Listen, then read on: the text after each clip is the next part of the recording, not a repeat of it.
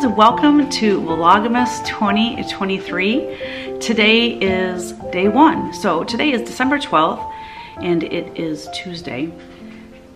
I did Vlogmas a few or two years ago, excuse me, in 2021 and I did it from December 1st up till Christmas and I just couldn't do that this year. Two years ago I didn't do the Jingle Ball, which has been all consuming for the past month or so. And anyways, I just didn't have time, so I thought I can do 12 days, the 12 days of Christmas, the 12 days before Christmas, I should say, because the 12 days of Christmas to me, they actually, Christmas starts on Christmas Day.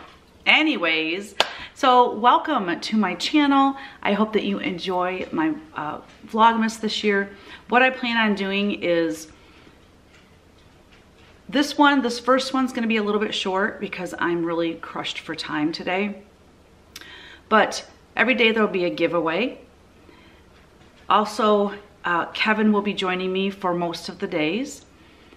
Also, the speed painting videos, I will be doing voiceovers.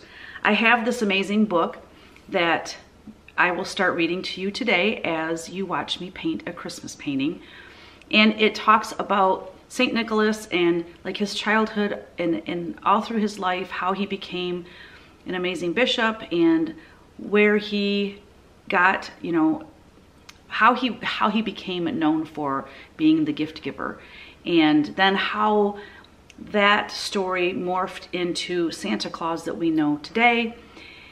And then also this book is really cool. It goes through, sorry, my dog's drinking water. She loves to be in my videos in only sound. She doesn't really want to be in the video. She just wants to be known that she's there, I think. Anyways, it talks about different Christmas songs, the origin of the song, when the song was written, who wrote the song, and there's some fascinating stories in there. So I don't know that the book will take up the entire 12 days. So if not, I have some other things in mind. Uh, like I said, Kevin will be joining me some of the days, most of the days, hopefully. And we will be just doing like Christmas questions that uh, people have asked us in my Patreon group and also possibly like a newlywed game I think would be super fun. Maybe we can do that one of those days. So that is the gist of what I plan on doing for Vlogmas this year. And I just want to say thank you for being here and I hope you join me for all 12 days before Christmas. The year was 2080 AD. This was 21 years prior to Armenia's king Terodat the Great rejecting local polytheist pagan religions and declaring Christianity as his country's official state religion, the first nation ever to do so.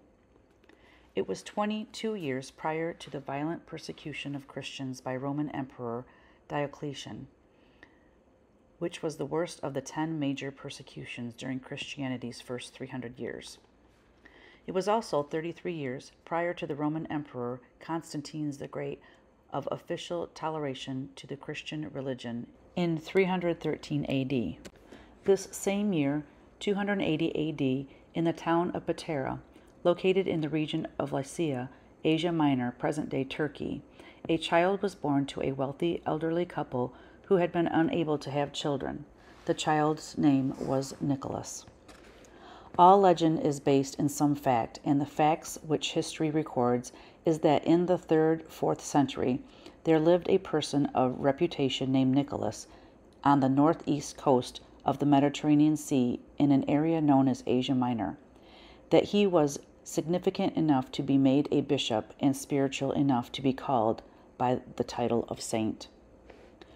In researching the background of St. Nicholas, many sources had bits and pieces of the stories of his life, but the record passed down by the Greek Orthodox Church appears to elaborate the most on the details of his career. This would appear appropriate as Nicholas lived in that area of the world. Some would contend that this history is mixed with legend, but being unqualified to distinguish between the two, this author has decided to relate the essence of the story as received. According to the Greek Orthodox history, Nicholas's parents, Theophanes and Nana, received him as their son after many years of prayer, similar to Abraham and Sarah of the Bible. They considered this child a direct gift from God with a special calling to help people.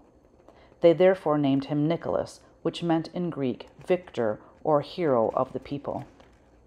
Even as an infant, Nicholas displayed remarkable instances of a special call on his life. As he grew, he was known for his virtue, especially in the study of Scripture, abstinence, and temperance. He began fasting every Wednesday and Friday, a habit which he has continued throughout his life. He was chaste and pure in his thoughts, sometimes spending entire days and nights in church praying and reading divine books. The bishop of the town, Patara, was Nicholas's uncle, whom Nicholas was named after. He noticed how Nicholas avoided worldly pursuits and therefore advised his parents that their son may be called to the service of God. Nicholas then entered the nearby monastery of Sion and trained for the ministry under his uncle. When Nicholas was ordained, his uncle pronounced a prophecy. I see, brethren, a new sun rising above the earth and manifesting in himself a gracious consolation for the afflicted. Blessed is the flock that will be worthy to have him as its pastor, because this one will shepherd well the souls of those who have gone astray, will nourish them on their passages of piety, and will be a merciful helper in misfortune and tribulation. As time went on, his uncle, the bishop, desired to go on pilgrimage to the Holy Land. He handed oversight of the church to his nephew Nicholas. Nicholas was known for keeping all night vigils, remaining unceasing in prayer and fasting.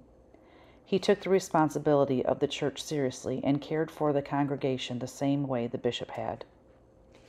It was at this time that Nicholas's parents died during the plague, leaving him a substantial inheritance. He was very generous in distributing it to the poor and needy, feeding the hungry, clothing the naked, and ransoming those taken captive by debt to moneylenders. Nicholas is almost notably remembered for helping the family of a nobleman of Patara who had gone bankrupt. Ruthless creditors not only took the nobleman's property, but threatened to take his three beautiful daughters as well.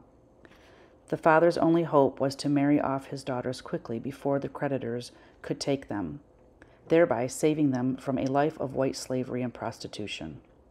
Unfortunately, he did not have money for the girls' dowries, which were necessary for them to marry. Nicholas heard of this dilemma, and late one night threw a bag of gold in the family's window to save the eldest daughter from the fate of an outcast. The news spread across town, and she was soon lawfully married. Shortly thereafter, Nicholas did the same, rescuing the second daughter the father is said to have exclaimed, O merciful God, author of our salvation, who hast redeemed me by thine own blood, and now redeemest my gold in my home and my daughters from the nets of the enemy. Do thou thyself show me the minister of thy mercy and thy philanthropic goodness. Show me this earthly angel who preserves us from sinful perdition, so that I may know who hath snatched us from poverty which oppresses us and delivers us from evil thoughts and intentions.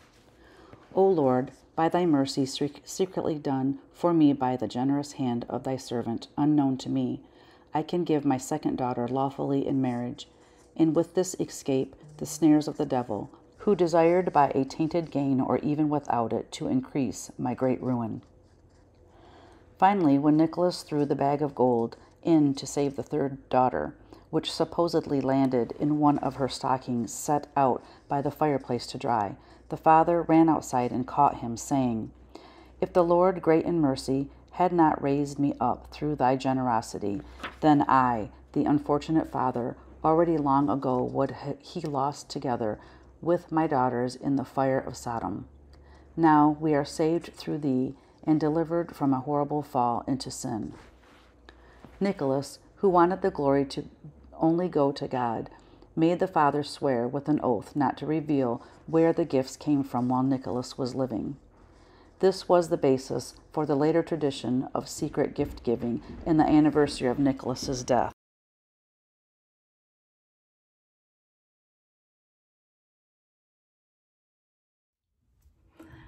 I hope you enjoyed that story. It's fascinating to me to learn about St. Nicholas and the things that became, you know, our tradition for Christmas now. So very interesting. Anyways, so the giveaway is a print of your choice, an 8 by 10 print of your choice from my Etsy shop. In order to be in the drawing, which I will be doing tomorrow, God willing that I get the next Vlogmas done, um, I need you to tell me your favorite Christmas memory as a child. And your keyword will be Christmas. So just make sure you use in your sentence the word Christmas.